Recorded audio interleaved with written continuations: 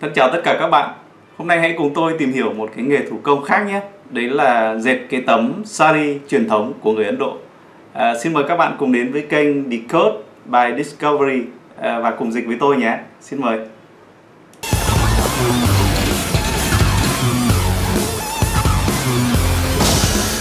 The sari. This elegant Indian garment has been around for 2,000 years, and today it is popular all over the world. The best sari makers blend modern technology with time-honoured methods to weave stunning garments from the finest silk and gold. Sari trang phục Ấn Độ thanh lịch này đã có từ 2.000 năm nay và ngày nay nó đã trở nên phổ biến trên toàn thế giới. Các nhà sản xuất sari giỏi nhất đã pha trộn công nghệ hiện đại với các phương pháp được tôn vinh theo thời gian, để dệt nên các cái sản phẩm may mặc tuyệt đẹp từ lụa và vàng có chất lượng cao nhất. Sari là cái tấm à, truyền thống của người Ấn Độ, à, đặc biệt là được dùng khi mà à, cô gái đi lấy chồng. À, nó rất là đắt tiền và cực kỳ đẹp, được làm từ lụa và đôi khi còn được à, dệt thêm vàng và bạc vào đấy nữa.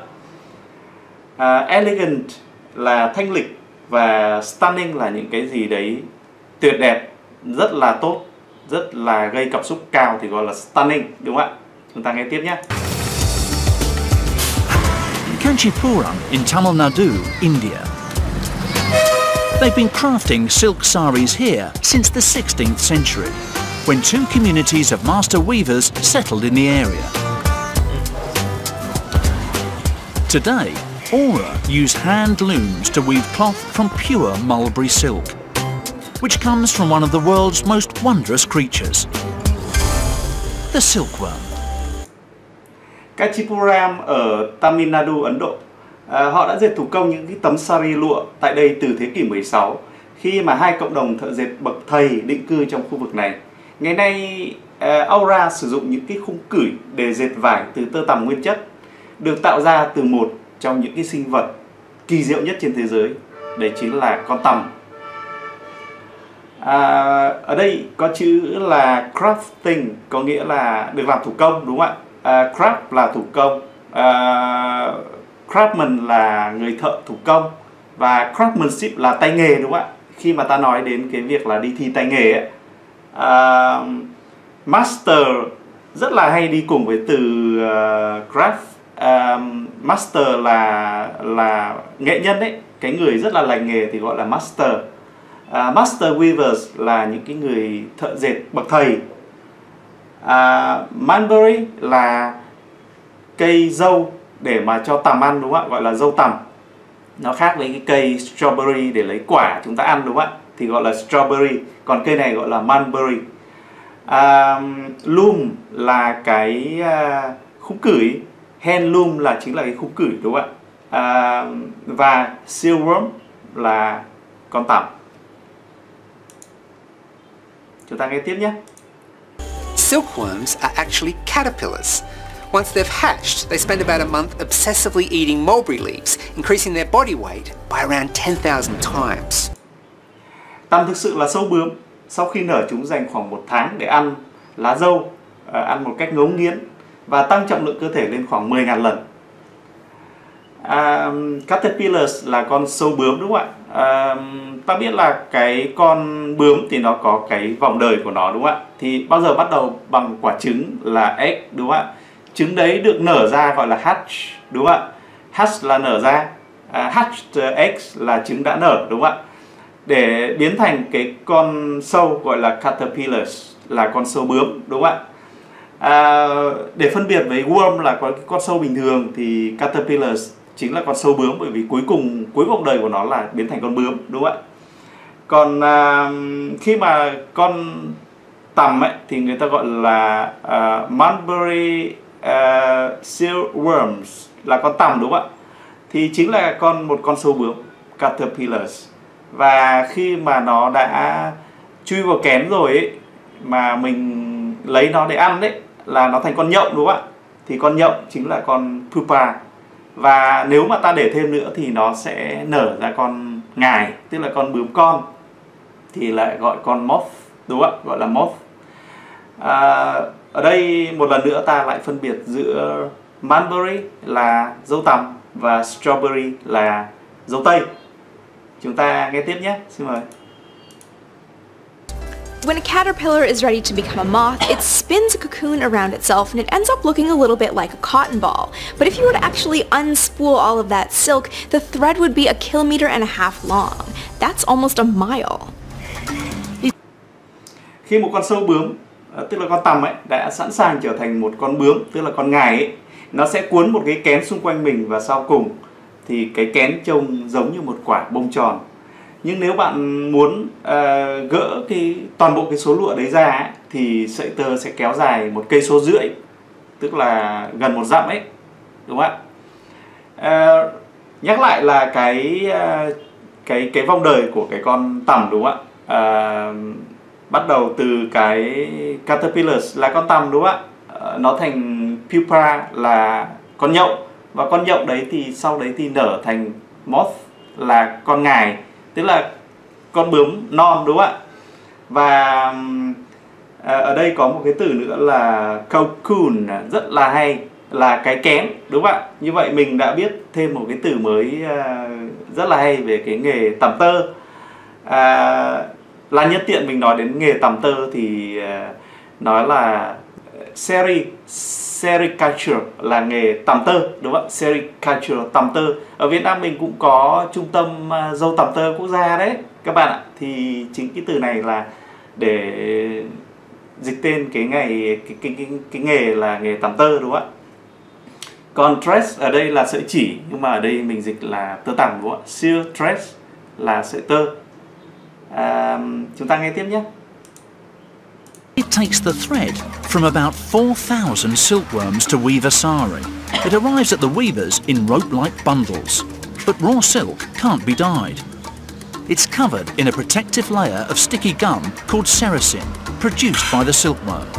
So to dissolve the sericin, it's given a hot soapy soak. cần lấy sợi từ khoảng à, 4.000 con tằm để dệt được một tấm sari nó đến tay các cái thệ dệt dưới cái dạng như là các cái bó thừng nhưng mà không thể nhuộm được à, lụa thô đâu. Nó được bao phủ trong một cái lớp chất nhờn à, bảo vệ được gọi là sericin do con tằm tiết ra. Vì vậy để hòa tan sericin nó được ngâm vào một loại xà phòng nóng.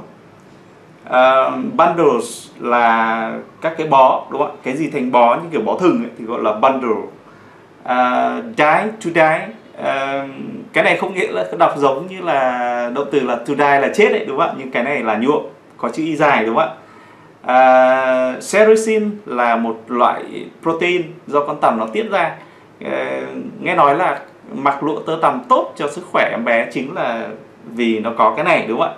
Như vậy thì ta phải mặc cái lụa mà được uh, uh, được may từ cái um, sợi tơ nó còn thô cơ thì nó mới có tác dụng đúng không ạ?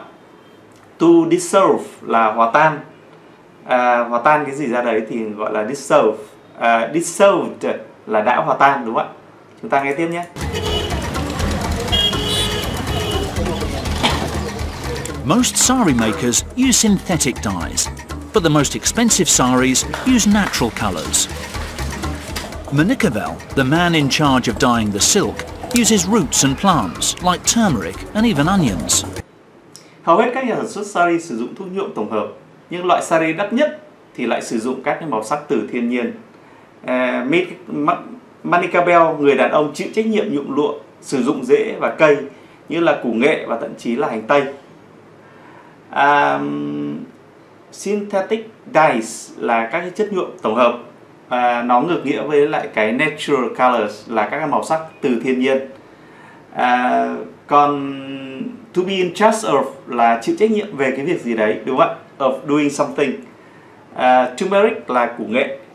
chúng ta nghe tiếp nhé so இது வந்து பார்த்தீங்கன்னா thứ onion vỏ hành tây này có thể cho chúng tôi sắc thái vàng sắc gold thái கலரில் đó வந்து có thể rất đẹp நம்மளுக்கு வந்து ஒரு சில கலர்ஸ் எடுத்துகிட்டு வரலாம் இது வந்து பார்த்தீங்கன்னா cái vàng này không có ஒன்றும் gì là நியூ mới கிடையாது cả đó là இது cái vàng từ ஏற்கனவே xa xưa பல முறை chúng tôi đang làm theo செய்யப்பட்டு cách truyền thống மரக்கடிக்கப்பட்டு đây không chỉ còn là khoa học திரும்பவும் இப்போ இது nữa nó வந்து là எடுத்துட்டு một nghệ thuật வந்து இது வந்து பார்த்தீங்கன்னா சயின்ஸ் மாதிரி யோசிக்கக்கூடாது இது வந்து ஒரு கலை To get a consistent vibrant colour, the onion gold dye must be hot, almost 90 degrees Celsius. so they use metal rods to safely dunk the silk threads. Then squeeze out the excess liquid and leave the yarn to dry in the baking Kanchipuram sun. À, để có được màu sắc rực rỡ và đồng nhất, thuốc nhuộm màu vàng từ hành tây phải nóng cơ, gần 90 độ C. Vì vậy họ sử dụng các cái thanh kim loại để nhúng các cái sợi tơ uh, sao cho được an toàn. Sau đó vắt chất lỏng dư thừa và để lại sợi khô dưới ánh mặt trời như thiêu đốt ở Kanchipuram. À, a consistent vibrant color là một cái màu sắc uh, rất là rực rỡ nhưng lại đồng nhất. Uh, nó đều đúng không ạ? À, còn to dunk là nhúng một cái gì đấy vào chất lỏng thì gọi là to dunk. Chẳng hạn như là a piece of cake into milk, nhúng một cái à, mẩu bánh vào trong cái um, cốc sữa chẳng hạn. Uh, squeeze là vắt đúng không ạ? Uh, vắt chanh cũng cũng dùng squeeze. Uh, còn jan này chính là sợi. Trong cái từ chuyên môn ngành uh, sơ sợi ấy, thì jan này chính là sợi đúng không ạ? Và ở đây mọi người chú ý một cái giới từ rất là hay là giới từ in nhé. Khi mà nói là mình bao giờ cũng nói là gì? uh, uh, dưới ánh nắng mặt trời đúng không ạ? Nhưng mà người Anh người ta phải dùng chữ in. À, in the sunlight dưới ánh nắng mặt trời, in the moonlight dưới ánh trăng đúng không ạ? Chúng ta nghe tiếp nhé. Kanchipuram is a dusty city, and the silk needs to be spotless. To clean it up, they stretch the yarn to 19 metre lengths, then beat out the dust with a wooden stick, in keeping with the methods their forefathers used. Before weaving, each individual thread must be separated from the ball of dyed yarn. À, Kanchipuram là một thành phố bụi bặm và lụa cần phải sạch không tì vết. Để làm sạch nó, họ kéo dài sợi đến 19 mét, sau đó đánh bật bụi bằng một thanh gỗ. Theo các cái phương pháp mà ông cha họ đã sử dụng, trước khi dệt mỗi sợi riêng lẻ phải được tách ra khỏi bó sợi đã nhuộm à, ở đây có cái từ là spot là cái vết bẩn đúng không ạ? Spotless có nghĩa là không có một cái tì vết gì cả. Giống như ngọc mình nói là ngọc thì không có tì vết gì cả đúng không ạ? Còn forefathers là ông cha là tổ tiên. Chúng ta nghe tiếp nhé. So they're taken to spinning wheels called charkers, where they're wound from cylindrical bamboo spindles around a metal pot and onto bobbins, which are attached to the loom. Vì vậy chúng được đưa đến các guồng quay tơ được gọi là chakra, à, nơi chúng được quấn từ các cái con suốt bằng tre hình trụ vòng xung quanh một cái nồi kim loại vào các búp sợi mà sau đó được gắn vào khúc cửi. À, rất là nhiều các cái từ chuyên môn trong cái ngành dệt ở đây. Thì ta để ý là spinning wheels chính là cái guồng quay tơ hay dân gian mình gọi là cái xa quay tơ đấy. Có một từ tiếng việt nữa gọi là xa quay tơ đúng không ạ? À, uh, spindler là một từ rất là chuyên môn trong ngành uh, quay sợi nhé. Có nghĩa là cái công nghệ cọc nồi ấy chính là từ này mà ra đúng không ạ? Thì cái này chính là cái con suốt bằng tre đúng không ạ? Bamboo spindle là con suốt bằng tre. Còn bobbins chính là các cái búp sợi uh, để mà họ luồn uh, giữa các sợi ngang ấy thì gọi là các bobbins.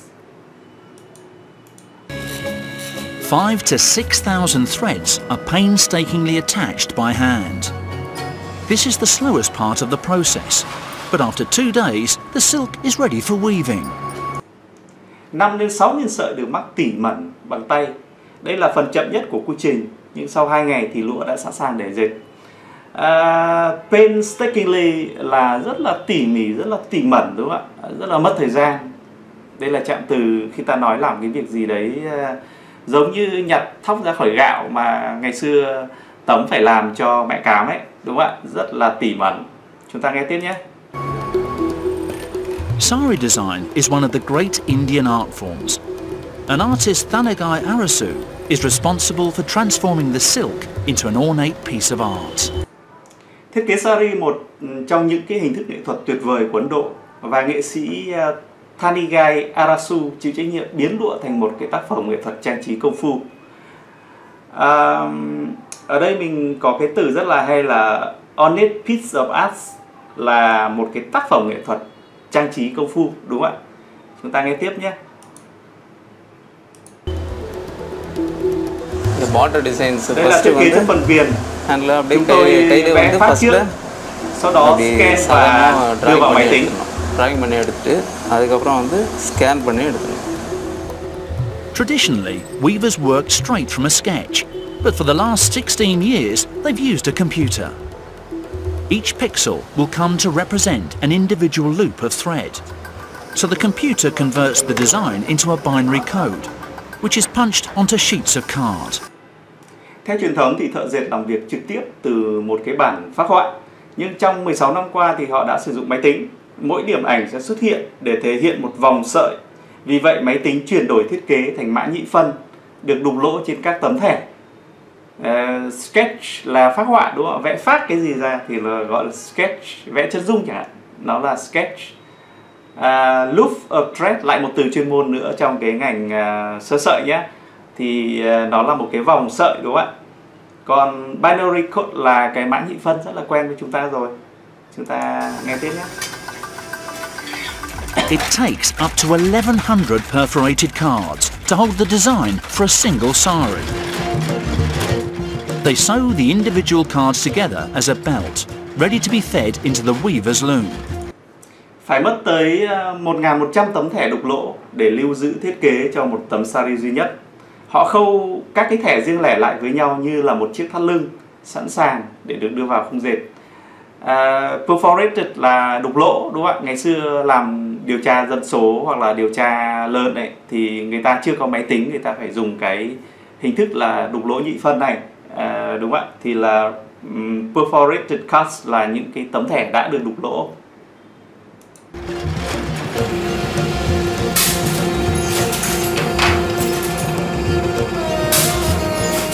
Fabric is made by passing a thread, known as the weft, over and under the threads that run the length of the cloth, the warp. Raji tugs a cord, lifting a card and linking it to the threads. Vải được làm bằng cách luồn một sợi được gọi là sợi ngang à, lên trên và xuống dưới các sợi chạy theo chiều dài của vải gọi là sợi dọc. À, Raji giật dây, nâng một tấm thẻ lên và nối nó với các sợi lụa. Ồ, ở đây có một vài cái từ chuyên môn đúng không ạ về của thợ dệt.